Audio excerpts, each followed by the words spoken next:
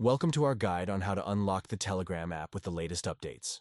Follow along as we take you through the steps to enhance the security of your Telegram experience. To begin, launch the Telegram app on your device.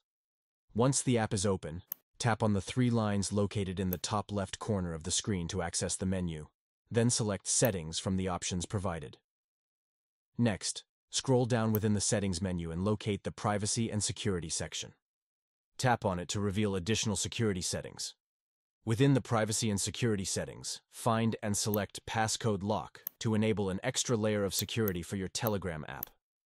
Now, you have the option to enter a four-digit passcode or use your device's fingerprint scanner to secure your Telegram app.